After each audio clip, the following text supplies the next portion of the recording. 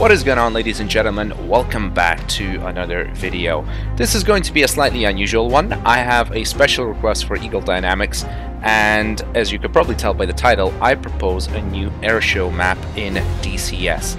Now I'll break down the video into three parts. First of all, what exactly it is that I'm proposing. Secondly, why I'm proposing it. And thirdly, how it will benefit absolutely everyone in the DCS community, irrespective of whether you personally desire an airshow map location in DCS or you don't. Um, so without further ado, let's get into it. We have two engine starts. You're clear to disconnect the headset. We'll see you on the left with the pin. Thanks a lot.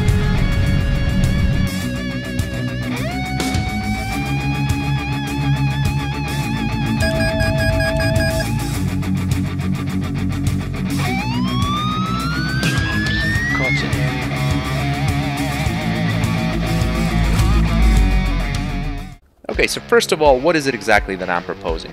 I propose that Eagle Dynamics creates a small map based entirely around one airport or airbase where an iconic airshow location um, happens to be, such as, for example, Oshkosh, maybe Sun and Fun, maybe Fairford, you know, choose your pick, whatever it is. Now, what do I mean by small? I propose that the map is literally all about just the airshow itself, right? So in other words, it doesn't need to be more than 20 by 20 kilometers, right? Now, in that area, you know, you could have a relatively high fidelity uh, in terms of scenery. You know, you could have the air show itself, where around the base, around the airport, where you have a lot of detail, and then it sort of drops off towards, uh, you know, 20 kilometers, and then out towards the horizon.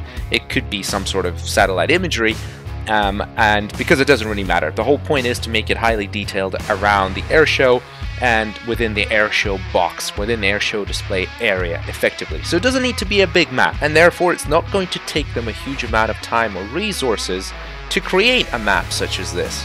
Now why exactly am I proposing this? Well as a lot of you probably know that follow my channel, I am a huge fan of flying airshow displays. I do it all the damn time and wherever possible, I usually try and create an airshow environment. I often try and base it on real world locations and sort of recreate um, reality like it, like it is, or occasionally I sort of create my own version of reality with an airshow um, because you know our locations are sort of limited in DCS. Now, the problem with me doing it the way I do it is I often run into a problem. I absolutely cannot run the scenarios that I want to run using the mods and the static objects that I try and sort of horseshoe into a certain particular location to try and make it look like it's a real air show. Now, a good example of this is right here. This is Ramat David uh, in Israel, and they actually do host an air show there occasionally. And I've tried to recreate it just based off, you know, the photos that I've seen in real life, and this is what I've come up with. And as you can probably tell, there's not exactly a huge amount of objects here. There's a couple of airplanes, a couple of statics, and a couple of people there in the display line. However, even this absolutely tanks my performance here to the point of where I've actually never used this scenario. I've created it like two years ago and I haven't used it because it absolutely tanks what I have and I'm not prepared to lower my graphical settings to the point of where everything else looks terrible. So I'm at this point of where I can't really recreate something like this, and this is a problem that I, I keep hitting all the time. For example, Nellis Air Force Base, I was there at an air show in uh, Las Vegas uh, at Nellis uh, in 2022. Um, as soon as I got home, I was like, all right, let's create this air show location in DCS, and I tried, and uh, what you see on screen now is after I've tested it and deleted more than half of the objects that I had on this, um, because it just simply doesn't run well. And I mean, even now, with what you're seeing, it, it it's re- absolutely tanks performance as well. Um, and that's considering the fact that Nellis generally and the NTTR map runs pretty well on my system. So the reason I propose that Eagle Dynamics uh, make such a map is because they can optimize it. They don't need to use high polygon models for a lot of the stuff, like airplanes, little airplanes parked up with people doing their, you know, the flying stuff and the camping um, and again with Airshow Crowd, they could optimize all of that stuff, all the scenery, which we can't. Um, and we're always going to be struggling with the amount of polygons and the amount of you know processing power and computing power and graphics uh, card power that we need and require to run anything even remotely close to this. So at the moment, recreating a big air show was just physically not possible in DCS. It's not you know, it's not practical. You just don't have the performance to do it. So that is why I propose that they do it. Now, let me get into why I think this will actually benefit the entire community. Even if you don't care about airshow maps, I'm telling you, I think this is going to be good for everyone.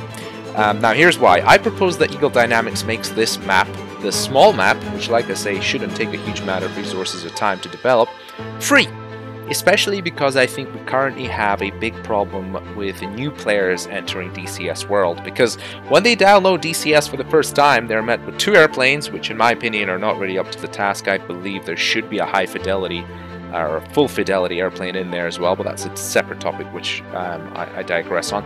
Uh, but also they're met with two maps. The Caucasus map, which uh, as much as I love it still to this day, it's looking a little bit old and dated when it comes to air bases, doesn't really have the fidelity, uh, doesn't have the immersion.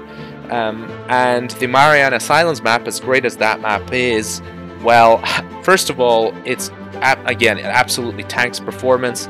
I can't even fly fast jets on it because I just, unless I prepare to, you know, lower the graphical setting by a certain high degree, um, and also because it's in the middle of bloody nowhere, nobody knows about the Marianas Islands anyway, unless you happen to be a die-hard um, military aviation enthusiast and American, I think, then you might, but otherwise, nobody really cares about that as a location, right? So, my proposal to create an airshow map free um, is because you know a lot of people go to air shows. If you think about it, lots of people who are at air shows uh, either fall in love with military aviation or just aviation in general, and then want to go and fly at an air show somewhere in a simulator, and they can't do that anywhere, literally anywhere.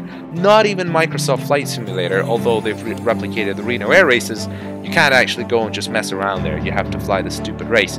And in DCS, where it's like the only flight simulator where we have really good flight dynamics for high performance aircraft, such as fighter jets and, you know, some propeller aircraft too, I guess um, we don't have a, a, a air show location at all unless you're like me and trying to, you know, create one from mods and whatever. I mean, a lot of people don't even know how to, you know, download mods. Never mind about, you know, spending time to actually try and, you know, position every tiny little object where they want, and then testing and then figuring out that it's, you know, their computer is just not powerful enough to run it. So I believe Eagle Dynamics should use this opportunity to create a new free map that will be accessible to everyone, that will be fun for everyone because it just means you can hop in an airplane and go and just have fun around the airbase. You've got some great scenery to look at, which we currently don't have. And it will keep people like me happy because I want to fly an airshow display that looks somewhat realistic, with a somewhat realistic crowd, with a somewhat realistic, you know, scenery kind of catered and optimized as if you're actually there at an airshow. I mean, they could even go, you know, add a little details and have like airshow commentary going on, some sort of generic commentary going on in the background, whatever, various little things. They could make it very immersive, and I don't believe that it'll take them a huge amount of time. They could optimize the scenery. Um, they could maybe even have a few versions of the uh, air show. They could have an empty airbase or field or airport, whatever they choose. Um, they could have a couple of airplanes on there, and then they could have like you know the full thing, the full shebang uh, where they got every static object you can imagine. Of course, that's great because it caters to everybody's performance uh, requirements. You can have a little bit less scenery, have more performance. Um, but anyway, I personally think attracting new players to the DCS community with such a map uh, would, well, effectively bring Eagle Dynamics more revenue in the long term because, you know, the more people you attract for free, the more the you know they'll buy the next module the next map, etc., etc. And if Eagle Dynamics has a bigger user base and makes more money, we benefit as the community because at the end of the day, we're gonna have better modules, we're gonna have more people working on the Eagle Dynamics team, more features, etc., etc. So therefore, my reasoning is, even if you do not care about airshow displays or airshow maps, I think this would be a golden opportunity to make some of us, those of us that like air shows anyway, happy, and at the same time bring new players to um, the franchise without having to spend a huge amount of new resources or time, like I say, um, to do so. So if you disagree with my reasoning, please make sure to comment down below and tell me why you think I'm wrong. Um, but personally, I think this could be a bit of a genius idea. Um, but anyway, I hope you guys have enjoyed that little video. Uh, I know it's been a little bit of an unusual one. If you're interested in seeing my airshow displays, then um, have a look in the description, have a look in the pinned comment. I'll, uh, I'll leave it all in there. But other than that, please smash the living daylight out of the like button for this video and perhaps some of the other airshow display videos as well if you end up watching them. And please tell Eagle Dynamics to make the airshow map happen. Uh, I would personally love Oshkosh, but if you have some other ideas, please comment down below.